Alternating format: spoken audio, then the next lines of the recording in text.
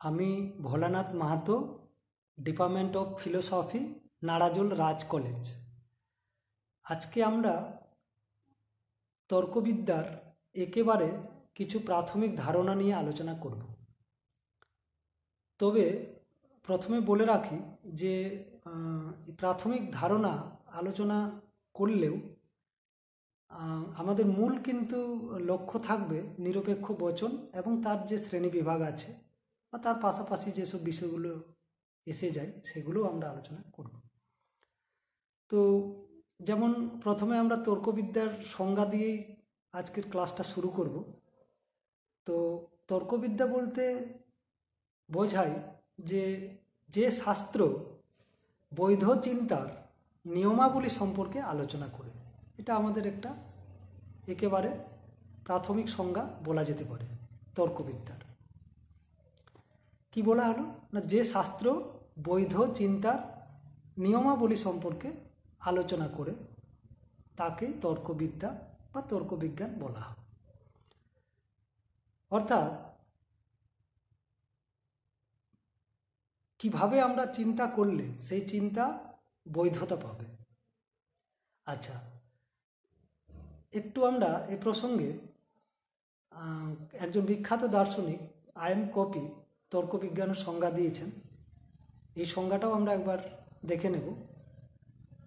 I am Copi বলছেন যে logic is the study of the methods and principles used to distinguish good from bad reasoning অর্থাৎ, তর্কবিদ্যা বা তর্কবিজ্ঞান হচ্ছে সেই শাস্ত্র যা বৈধ যুক্তি থেকে, না বলে এটা বলব যে যুক্তিবিজ্ঞান হলো সেই শাস্ত্র যা শুদ্ধ যুক্তি থেকে, এখানে শুদ্ধ যুক্তি বলতে ভালো, শুদ্ধ যুক্তি থেকে অশুদ্ধ যুক্তিকে, অর্থাৎ মন্দ যুক্তিকে পৃথক করার যে নিয়ম বা পদ্ধতি তা নিয়ে আলোচনা করে অর্থাৎ তর্কবিজ্ঞান হলো সেই শাস্ত্র যা শুদ্ধ যুক্তি থেকে অশুদ্ধ যুক্তিকে পৃথক করার নিয়ম বা পদ্ধতি নিয়ে আলোচনা করে।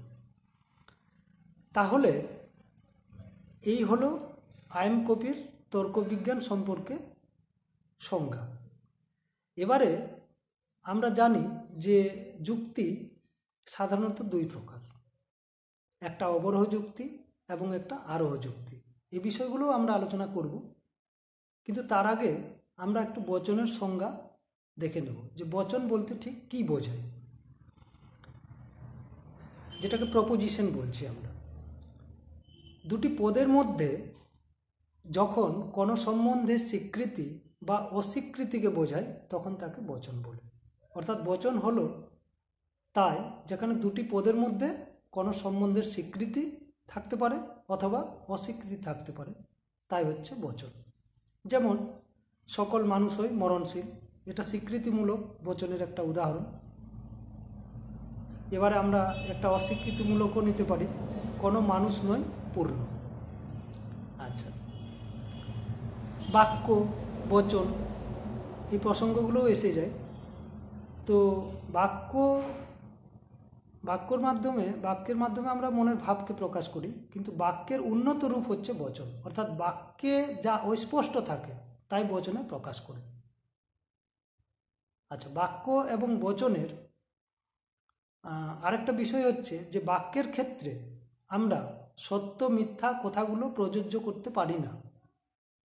কিন্তু বচনকেই আমরা একমাত্র সত্য এবং মিথ্যা বলতে পারি। অর্থাৎ বাক্যের ক্ষেত্রে সত্য মিথ্যা প্রযোজ্য নয়, কিন্তু বচনের ক্ষেত্রে সত্য মিথ্যা প্রযোজ্য। আচ্ছা এবারে আমরা একটু অবরোহ এবং আরোহ যুক্তির একটু সংজ্ঞা দেখে নেব। তো অবরোহ যুক্তির সংজ্ঞায় বলা হচ্ছে আচ্ছা তার আগে অবরোহ যুক্তি এবং আরোহ যুক্তি, এই দুটো সংজ্ঞা আলোচনা করার আগে আমাদের একটু যুক্তি, অনুমান, এদের সংজ্ঞাও কিন্তু একটু জানা খুবই দরকার। অনুমানের বলা হয়েছে যে অনুমান হচ্ছে একটা মানসিক প্রক্রিয়া, এটা একটা মেন্টাল প্রসেস ঠিক আছে? যেখানে জ্ঞাত সত্যের ভিত্তিতে অজ্ঞাত সত্যে উপনীত হওয়া যায়, ঠিক আছে? আর এই অনুমানকে যখন আমরা ভাষায় প্রকাশ করে দিচ্ছি, তখন সেটা হয়ে যাচ্ছে যুক্তি, বা যুক্তির আরও অন্য সংজ্ঞা আছে। যেমন যুক- যুক্তি হচ্ছে কতকগুলো বচন সমষ্টি। যুক্তি হচ্ছে কতকগুলো বচন সমষ্টি, যেখানে কোনো একটি বচনের সত্যতা অন্যান্য বচনগুলির দ্বারা সমর্থিত হয়ে প্রতিষ্ঠিত হয়। অর্থাৎ যে বচনটির সত্যতা নির্ণীত হয়, তাকে বলা হয় সিদ্ধান্ত। এবং যাদের সাহায্যে কোনো একটি বচনের সত্যতা নির্ধারণ হয়, তাদেরকে আমরা বলছি আশ্রয় বাক্য বা যুক্তি বাক্য বা হেতু বাক্য আচ্ছা তো যুক্তি এবং অনুমান, এগুলো একই বিষয়, কিন্তু কি অনুমানটা হচ্ছে একটা মানসিক প্রক্রিয়া এবং যুক্তি হচ্ছে একটা, যখন অনুমানটাকে আমরা ভাষায় প্রকাশ করে দিচ্ছি, তখন সেটা হয়ে যাচ্ছে যুক্তি। তো এই যে প্রাথমিক ধারণাগুলো, যেমন তর্কবিজ্ঞান আচ্ছা বচন, অনুমান, যুক্তি আচ্ছা এই যে বচন আছে, বচনের মধ্যে যেমন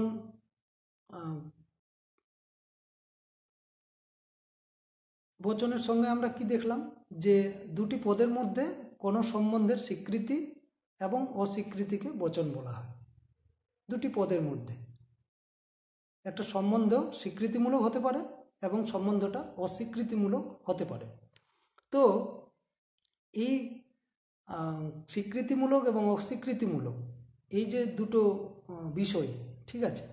তো এখানে এই যে পদগুলো আছে, উদ্দেশ্য পদ এবং বিধেয় পদ। দুটি পদের মধ্যে, দুটি পদ বলতে এখানে কি? উদ্দেশ্য এবং বিধেয়।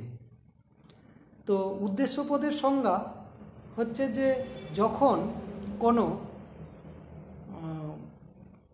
বাক্যেই বলব, ঠিক আছে? যখন কোনো বাক্যে বা বচনেও বলতে পারি আমরা, যখন কোনো বচনে যার সম্পর্কে কিছু বলা হয় তাকে আমরা বলছি উদ্দেশ্য পদ এবং বচনে যখন উদ্দেশ্য পদ সম্পর্কে কিছু বলা হয়, তখন তাকে বলা হচ্ছে বিধেয় পদ আচ্ছা। যেমন উদাহরণ, সকল মানুষই মরণশীল। এই বচনটিতে কার সম্পর্কে বলা হচ্ছে? মানুষ। তার মানুষকে উদ্দেশ্যপদ বলা হচ্ছে এবং মানুষ সম্পর্কে যা বলা হচ্ছে, তাকে বলা হচ্ছে বিধেয় পদ তো এই উদ্দেশ্য এবং বিধেয় পদের সম্বন্ধ অনুসারে বচনকে একেবারে প্রাথমিক দিকে দুটি ভাগে ভাগ করা হয়। কি অনুসারে? উদ্দেশ্য এবং বিধেয় পদের সম্বন্ধ অনুসারে। একটা নিরপেক্ষ বচন এবং একটা সাপেক্ষ বচন। তো এই যে বচনের মধ্যে দুটো পদ রয়েছে তো এই দুটো পদের উদ্দেশ্য বিধেয় পদের পদের যে সম্বন্ধ এই সম্বন্ধ অনুসারে দুটো ভাগ একটা নিরপেক্ষ বচন একটা সাপেক্ষ বচন। তো এই নিরপেক্ষ বচনের চারটি ভাগ রয়েছে মানে এটা স্ট্যান্ডার্ড ফর্ম এটা পরিমাণ একটা সংযোজক মানে চারটি অংশ এবং আহ, পরিমাণক প্রথমত পরিমাণক, উদ্দেশ্যপদ এবং সংযোজক এবং শেষে বিধেয় এটা হচ্ছে নিরপেক্ষ বচনের চারটি অংশ। আচ্ছা তো এই নিরপেক্ষ বচনকে এখন আমরা একটু ডিটেলসে আলোচনা করব। তাহলে আমরা কি দেখলাম যে উদ্দেশ্য এবং বিধেয় পদের সম্বন্ধ অনুসারে বচন দুটো ভাগ হয়েছে। একটা নিরপেক্ষ বচন এবং একটা সাপেক্ষ বচন। এদের একটু সংজ্ঞা আমরা আলোচনা করে নিই, তারপরে আমরা নিরপেক্ষ বচনের ডিটেলস আলোচনা করব, যেটা আজকে আমাদের মূল আলোচ্য বিষয়। তো, নিরপেক্ষ বচনের সংজ্ঞা হচ্ছে এটাই যে যে বচনে উদ্দেশ্য এবং বিধেয় পদের সম্বন্ধ কোনো শর্তের উপর নির্ভর করে না। অর্থাৎ শর্ত নিরপেক্ষ। যেমন, সকল মানুষই মরণশীল। এক্ষেত্রে মানুষকে মরণশীলতার জন্য বা মানুষকে মরণশীল হওয়ার জন্য কোনো কিছুর উপর নির্ভর করতে হবে না। ও হবে অর্থাৎ উদ্দেশ্য এবং বিধেয় পদের সম্বন্ধটি যেখানে কোনো শর্তের উপর নির্ভর করবে না। আচ্ছা এই হলো নিরপেক্ষ বচন। এবং সাপেক্ষ বচন হচ্ছে এরকম যে যেখানে বা যে বচনে উদ্দেশ্য এবং বিধেয় পদের সম্বন্ধ শর্ত সাপেক্ষ। অর্থাৎ উদ্দেশ্য এবং বিধেয় পদের সম্বন্ধটা শর্তের উপর নির্ভর করে, কোনো না কোনো শর্তের উপর নির্ভর করে। যেমন এর উদাহরণ হতে পারে, যদি মেঘ করে, তবে বৃষ্টি হবে। অর্থাৎ এখানে পরিষ্কার একটা শর্ত বা কন্ডিশন আসছে, সেটা হচ্ছে যে বৃষ্টি হবে যদি মেঘ করে। অর্থাৎ মেঘ করলেই বৃষ্টি হবে। মেঘ ছাড়া বৃষ্টি হতে পারে না। অর্থাৎ এখানে একটা পরিষ্কার উদ্দেশ্য বিধেয় পদের মধ্যে শর্তের উল্লেখ আছে। শর্ত, যেখানে শর্তই মূল কথা। এটা হচ্ছে সাপেক্ষ বচন এবারে আমরা আলোচনা করব নিরপেক্ষ বচনের যে ভাগগুলো আছে। তার আগে একটু বলি যে এটা এই নিরপেক্ষ বচন বা সাপেক্ষ বচন, যাই এখন অবধি যেটুকু আমরা আলোচনা করেছি, সে বিষয়গুলো সবগুলোই কিন্তু ওই অবরহ যুক্তির মধ্যে পড়ে। অর্থাৎ আমরা বলেছি প্রথমে যে যুক্তির সংজ্ঞা বললাম আমরা। তো এই যুক্তি প্রধানত দুইটি প্রকার আছে, যুক্তি, একটা অবরহ যুক্তি এবং একটা আরোহ যুক্তি। তো এই অবরহ যুক্তি হচ্ছে যে যে যুক্তিতে এক বা একাধিক আশ্রয় বাক্যের সাহায্যে একটি সিদ্ধান্ত অনিবার্য সম্পর্কে সম্পর্কিত হবে এবং যেখানে সিদ্ধান্তটি আশ্রয় বাক্যের থেকে কম ব্যাপক বা সমব্যাপক হবে, তাকে অবরহ যুক্তি বলা হয়। তাহলে অবরহ যুক্তিতে আমরা কি দেখছি? না, যেখানে এক বা একাধিক আশ্রয় বাক্য থাকবে এবং সেই এক বা একাধিক আশ্রয় বাক্য থেকে সিদ্ধান্তটি অনিবার্য সম্পর্কে সম্পর্কিত হয়ে নিঃসৃত হবে। অর্থাৎ আশ্রয় বাক্যের সাথে সিদ্ধান্তের একটা অনিবার্য সম্পর্ক থাকবে বা আমরা লক্ষ্য করব। আচ্ছা এবারে এই সিদ্ধান্তের যে ব্যাপকতা, সেটা আশ্রয় বাক্য বা হেতু বাক্য বা যুক্তিবাক্যকে কখনো ছেপে বা অতিক্রম করে যাবে না। তাহলে সিদ্ধান্তের ব্যাপকতা কি হবে? না, সিদ্ধান্তের ব্যাপকতা হবে আশ্রয় বাক্যের সমমান, অর্থাৎ সমব্যাপক, অথবা সিদ্ধান্ত আশ্রয় বাক্যর থেকে কম ব্যাপক হবে। যেমন, এই যে আমরা বলেছি, এক বা একাধিক আশ্রয় বাক্য থেকে সিদ্ধান্ত আসবে। এক কেন বলা হয়েছে? না যুক্তি মাধ্যম অমাধ্যম হিসেবে ভাগ হয়ে গেছে। তো মাধ্যম এবং অমাধ্যম অমাধ্যম হিসেবে যেমন আবর্তন, বিবর্তন, সমবিবর্তন বিভিন্ন বিষয়গুলো আসছে। তো এই জন্য আমরা এরকমও বলতে পারি অমাধ্যম যুক্তির উদাহরণ হিসেবে, হুম? যে সকল মানুষই মরণশীল, কোনো কোনো মরণশীল জীব হয় মানুষ, তাহলে একটি যুক্তি থেকেও সিদ্ধান্ত আসতে পারে। আচ্ছা। এবারে মাধ্যম যুক্তির উদাহরণ বা সমাধ্যম যুক্তির উদাহরণ হবে, সকল মানুষ হয় মরণশীল, রাম হয় একজন মানুষ, অতএব রাম হয় মরণশীল। তো এইভাবে আমরা অবরোহ যুক্তিকে বুঝতে পারি। তাহলে অবরোহ যুক্তির একদম সংক্ষেপে যেটা আসছে, সেটা হচ্ছে যে যে যুক্তিতে এক বা একাধিক আশ্রয় বাক্য থেকে সিদ্ধান্ত অনিবার্য সম্পর্কে সম্পর্কিত হয়ে নিঃসৃত হব। এবং যেখানে সিদ্ধান্তের ব্যাপকতা। আশ্রয় বাক্যের থেকে কম বা সমব্যাপক হবে। এবারে আসি আমরা আরোহ যুক্তি। যে যুক্তিতে কয়েকটি বিশেষ বিশেষ ব্যক্তি, বস্তু বা ঘটনাকে পর্যবেক্ষণ এবং পরীক্ষণ করে প্রকৃতির একরূপতা নীতি এবং কার্যকারণ নিয়মের উপর ভিত্তি করে একটি সার্বিক সংশ্লেষক বচন যেখানে প্রতিষ্ঠা করা হয়। তাই হলো আরোহ যুক্তি। তাহলে আরোহ যুক্তির মূল বিষয়টা কি হচ্ছে? না যেখানে কয়েকটি বিশেষ বিশেষ বস্তু বা ব্যক্তি বা ঘটনাকে পর্যবেক্ষণ এবং পরীক্ষণ করে এবং প্রকৃতির একরূপতা নীতি ও কার্যকারণ নিয়মের উপর ভিত্তি করে একটি সার্বিক সংশ্লেষক বচন প্রতিষ্ঠা করা হচ্ছে।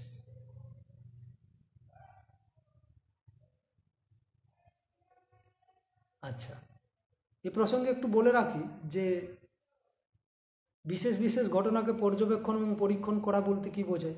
না যেসব বিষয়গুলো আছে যেগুলোকে পরীক্ষণ করা যায় না, পর্যবেক্ষণ করতে হয়। আবার এমন কিছু বিষয় আছে যেগুলোকে পর্যবেক্ষণ করা যায় না, ঠিক পরীক্ষণ করতে হয়।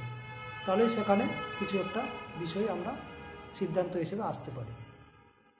তো, এবারে প্রকৃতির প্রকৃতির একরূপতা নীতি কি? না, প্রকৃতির একরূপতা নীতির অর্থ হচ্ছে যে প্রকৃতি সম অবস্থায় সম আচরণ করে।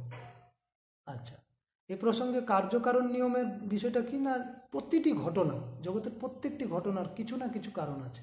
অর্থাৎ কারণ ছাড়া কোনো কিছুই ঘটে না।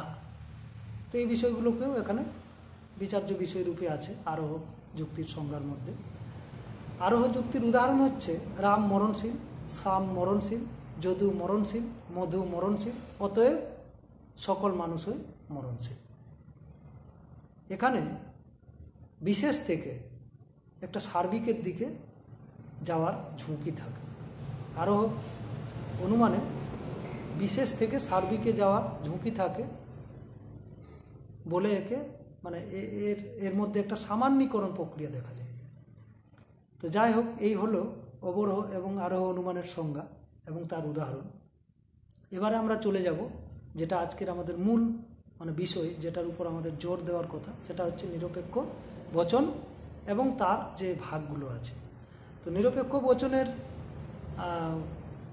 ভাগ বলতে গুণ অনুসারে নিরপেক্ষ বচনকে দুটো ভাগে ভাগ করা হয়েছে। একটা হচ্ছে সদর্থক, যাকে ইতিবাচক বা হ্যাঁবাচক বলা হয়, অর্থাৎ সদর্থক বচন। গুণ অনুসারে সদর্থক এবং নগর্থক, যাকে নেতিবাচক বা নাবাচক বা নগর্থক বচন বলা হচ্ছে।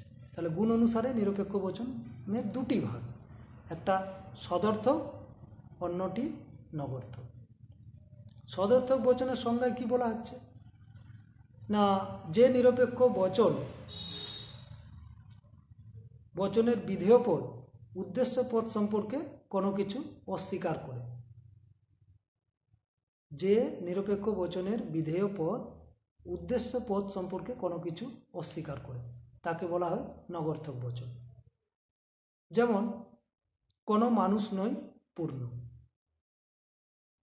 এখানে বিধেয় পদ, উদ্দেশ্য পদ সম্পর্কে অস্বীকার করছে। আচ্ছা। এবারে সদর্থক বচন কি? না যে নিরপেক্ষ বচনের বিধেয় পদ, উদ্দেশ্য পদ সম্পর্কে কোনো কিছু স্বীকার করবে, অর্থাৎ স্বীকার করা বোঝাবে।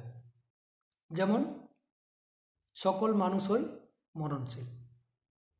অর্থাৎ সদর্থক বচনের ক্ষেত্রে বিধেয় পদ, উদ্দেশ্য পদ সম্পর্কে কিছু স্বীকার করবে এবং নগর্থক বচনের ক্ষেত্রে বিধেয় পদ, উদ্দেশ্য পদ সম্পর্কে কিছু অস্বীকার করবে। এবারে আমরা চলে যাব পরিমাণ অনুসারে নিরপেক্ষ বচনের ভাগে। পরিমাণ অনুসারে নিরপেক্ষ বচনকে দুটি ভাগে ভাগ করা হয়েছে। একটি সার্বিক বা সামান্য, অন্যটি বিশেষ বচন। সার্বিক বচনের বক্তব্য কি? না, যেটা ইউনিভার্সাল প্রপোজিশন সার্বিক বচন হচ্ছে যে নিরপেক্ষ বচনের বিধেয় পদ উদ্দেশ্য পদের সমগ্র ব্যক্তার্থ বিষয় সম্পর্কে কোনো কিছু স্বীকার বা অস্বীকার করবে। যেমন, সকল মানুষই মরণশীল, কোনো মানুষ নয় পূর্ণ। আচ্ছা এবারে বিশেষ বচন কি? না, বিশেষ বচনের সংজ্ঞা হচ্ছে যে নিরপেক্ষ বচনের বিধেয় পদ উদ্দেশ্য পদের সমগ্র ব্যক্তার্থ বিষয়ের অংশ বিশেষ সম্পর্কে কোনো কিছু স্বীকার বা অস্বীকার করবে এর উদাহরণ কি? না, কোনো কোনো ফুল হই সাদা, কোনো কোনো মানুষ হই স্বার্থপর। আচ্ছা ন আবার বিশেষ নগর্থকের উদাহরণ এরকম হবে ওখানে যে কোনো কোনো মানুষ নয় স্বার্থপর, এটা আমরা বলতে পারি। আচ্ছা তাহলে এটা গেল। এবারে গুণ এবং পরিমাণের সংযুক্তির ভিত্তিতে নিরপেক্ষ বচনকে আমরা চার ভাগে ভাগ করছি। গুণ এবং পরিমাণের সংযুক্তির ভিত্তিতে। কি? না একটা সার্বিক বা সামান্য সদর্থক বচন একটা সার্বিক বা সামান্য নগর্থক বচন একটা বিশেষ সদর্থক এবং একটা বিশেষ নগর্থক বচন অর্থাৎ এ, ই, আই, ও। সার্বিক সদর্থকে কি বলা হয়? না যে নিরপেক্ষ বচনের বিধেয় পদ উদ্দেশ্য পদের সমগ্র ব্যক্তার্থ বিষয়কে স্বীকার করে নেবে। অর্থাৎ উদাহরণ হিসেবে আমরা বলতে পারি, সকল মানুষ হয় মরণশীল। সার্বিক নগর্থক বচনের সংজ্ঞা, যে নিরপেক্ষ বচনের বিধেয় পদ উদ্দেশ্য পদের সমগ্র ব্যক্তার্থ বিষয় সম্পর্কে কোনো কিছু অস্বীকার করবে। কোনো মানুষ নয়, পূর্ণ। বিশেষ সদর্থক কি? যে নিরপেক্ষ বচনের বিধেয় পদ উদ্দেশ্য পদের সমগ্র ব্যক্তার্থ বিষয়ের অংশ বিশেষ সম্পর্কে কোনো কিছু স্বীকার করবে যেমন কোনো কোনো ফুল হয় সাদা। এবং বিশেষ নগর্থক বচন হচ্ছে যে নিরপেক্ষ বচনের বিধেয় পদ উদ্দেশ্য পদের সমগ্র ব্যক্তার্থ বিষয়ের অংশ বিশেষ সম্পর্কে কোনো কিছু অস্বীকার করবে যেমন কোনো কোনো ফল নয় টক। এবারে নিশ্চয়তা অনুসারে নিরপেক্ষ বচনকে তিনটি ভাগে ভাগ করা হয়েছে। একটা অনিবার্য বচন, একটা ঘোষক বচন, আর একটা সম্ভাব্য বচন। অর্থাৎ ঘোষক বচনের ক্ষেত্রে যেটা আসছে, সেটা হচ্ছে যেখানে উদ্দেশ্য এবং বিধেয় পদের সম্বন্ধটি ঘোষণামূলক। যেমন সকল ফুল হয় সুগন্ধযুক্ত। কিছু একটা ঘোষণা করবে। অনিবার্য বচনের ক্ষেত্রে কি বলা হয়? যেখানে উদ্দেশ্য, বিধেয়, পদের সম্বন্ধটি অনিবার্যভাবে সত্য। যেমন সকল দুই আর দুইয়ের যোগফল হয় চার। সম্ভাব্যমূলক বচনের ক্ষেত্রে কি বলা হয়েছে? না, যে নিরপেক্ষ বচনের উদ্দেশ্য এবং বিধেয় পদের সম্বন্ধটি সম্ভাব্য, সম্ভাবনামূলক। যেমন হয়তো আজ বৃষ্টি হতে পারে। এবারে গঠন অনুসারে নিরপেক্ষ বচনের দুটি ভাগ রয়েছে, একটি সরল বচন এবং একটি যৌগিক বচন। সরল বচনের ক্ষেত্রে যেটা বলা হয়েছে যে যেখানে যে নিরপেক্ষ বচনে একটি উদ্দেশ্য এবং একটি মাত্র বিধেয় থাকে, তাকে সরল বচন বলা হয়। যেমন সকল মানুষই মরণশীল।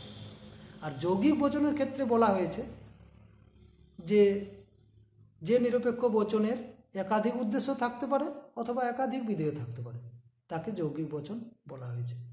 যেমন, মানুষ এবং ঘোড়া হয় উষ্ণ শোণিত প্রাণী। এবারে আমরা তাৎপর্য অনুসারে নিরপেক্ষ বচনের ভাগ করতে পারি। এটার দুটো ভাগ রয়েছে, একটা বিশ্লেষক বচন, একটা সংশ্লেষক বচন। বিশ্লেষক বচনের ক্ষেত্রে কি বলা হয়েছে? না, যে নিরপেক্ষ বচনের বিধেয় পদটি উদ্দেশ্য পদের মধ্যে নিহিত থাকে, অর্থাৎ যেখানে বিধেয় উদ্দেশ্য সম্পর্কে কোনো নতুন তথ্য আমাদের দেই না। সেটাই হচ্ছে বিশ্লেষক বা অ্যানালাইটিক্যাল প্রপোজিশন কি? না, সকল পিতা হই পুরুষ অর্থাৎ পুরুষ অলরেডি পিতার মধ্যে নিহিত। বা সকল লাল ফুল হই লাল, এটা অলরেডি এর মধ্যে নিহিত আছে।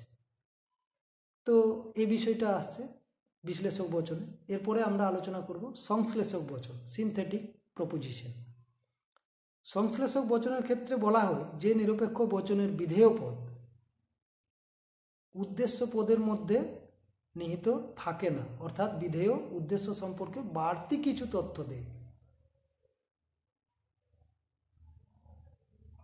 যেমন, সকল লাল ফুল হয় গন্ধহীন। এরকম একটা কিছু তথ্য আমরা পাবো বিধেয়ের মধ্যে। তো, এইভাবে তাৎপর্য অনুসারে নিরপেক্ষ বচনের দুটো ভাগ করা হয়েছে। তাহলে আমাদের এখন পর্যন্ত নিরপেক্ষ বচনের আলোচনা করতে গিয়ে আমরা কি কি ভাগ পেলাম একবার দেখে নিই। নিরপেক্ষ বচনকে আমরা গুণ অনুসারে দুটি ভাগে ভাগ করেছি সদর্থ এবং নগর্থ পরিমাণ অনুসারে সার্বিক এবং বিশেষ। গুণ এবং পরিমাণের সংযুক্তির ভিত্তিতে আমরা ভাগ করেছি, সার্বিক বা সামান্য সদর্থ সার্বিক বা সামান্য নগর্থ বিশেষ সদর্থ বিশেষ নগর্থ এবং গঠন অনুসারে আমরা দুটো ভাগ দেখলাম, একটা সরল, একটা যৌগিক। তাৎপর্য অনুসারে আমরা দুটো ভাগ দেখলাম, একটা বিশ্লেষক বচন, একটা সংশ্লেষক বচন। আর নিশ্চয়তা অনুসারে আমরা নিরপেক্ষ বচনের তিনটে ভাগ দেখলাম, একটা অনিবার্য বচন যেটাকে আবশ্যিক বচন বলছি, একটা ঘোষক বচন আর একটা সম্ভাব্য বচন। আচ্ছা। তাহলে নিশ্চয়তা অনুসারে, গঠন অনুসারে, তাৎপর্য অনুসারে এবং গুণ অনুসারে, পরিমাণ অনুসারে এবং গুণ পরিমাণের সংযুক্তির ভিত্তিতে। এইভাবে নিরপেক্ষ বচনের ভাগগুলো আমরা পেলাম। তো তাহলে এই নিরপেক্ষ বচন বিশেষ করে এই যে নিরপেক্ষ বচনের চারটি ভাগ, এই চারটি ভাগের উপর আমাদের লজিকে অনেক ফাংশন আছে। অর্থাৎ এ ই আই ও এই চারটি নিরপেক্ষ বচনের উপরে আমাদের অনেকগুলো পরবর্তী ক্ষেত্রে আমাদের এর উপর কাজ আছে। যেমন আমরা এরপরে পরবর্তী ক্লাসে আমরা যখন এই নিরপেক্ষ বচন মানে বিভিন্ন বাক্যকে বচনে আমরা রূপান্তরিত করব, তখন এই নিরপেক্ষ বচনগুলো আমাদের কাজে লাগবে। তো তাহলে এই চারটি যে নিরপেক্ষ বচন আমরা পেলাম, এ, ই, আই, ও, অর্থাৎ সার্বিক বা সামান্য যে সদর্থক বচন, সেটাকে আমরা এ বচন হিসেবে জানি। সার্বিক বা সামান্য যে নগর্থক বচন, সেটাকে আমরা ই বচন হিসেবে জানি। এবং বিশেষ যে সদর্থক বচন, সেটা আই। এবং বিশেষ যে নগর্থক বচন, সেটা ও। তো এই চারটা যে বচন, এই চারটা বচনের আমরা আকারগুলো একটু দেখে নিই। সার্বিক যেটা সদর্থক বচন, অর্থাৎ এ বচন, তার আকার হচ্ছে সকল উদ্দেশ্য, হয় বিধেয়। আচ্ছা। সার্বিক নগর্থক বচনের আকার হচ্ছে কোনো উদ্দেশ্য নয় বিধেয়। বিশেষ সদর্থক বচনের আকার হচ্ছে কোনো কোনো উদ্দেশ্য হই বিধেয় এবং বিশেষ নগর্থক বচনের আকার হচ্ছে কোনো কোনো উদ্দেশ্য নয় বিধেয়। তাহলে কোনো কোনো উদ্দেশ্য হই বিধেয় এ বচন, কোনো কোনো কোনো উদ্দেশ্য নয় বিধেয় কোনো কোনো উদ্দেশ্য হই বিধেয় এবং কোনো কোনো উদ্দেশ্য নয় বিধেয়। A, E, I, O. এই চারটি বচন আমরা এই নিরপেক্ষ বচনের জায়গা থেকে পাচ্ছি। এবং এই চারটি বচনের যে অ্যাপ্লিকেবল এরিয়া আছে, পরবর্তী ক্ষেত্রে যখন আমরা বিভিন্ন বাক্যকে বচনে রূপান্তরিত করব, তখন এই বচনগুলো আমাদের কাজে লাগবে। এছাড়াও আমরা যখন আরও আবর্তন, বিবর্তন বিভিন্ন যে প্রক্রিয়ার মধ্য দিয়ে এগোবো, তখন এগুলোর আমাদের বিশদভাবে আর জানতে হবে এবং এর উপর আমি পরবর্তী ক্লাসে তখন আমি আবার আমরা ডিসকাস করব। আজ এখানেই থাক।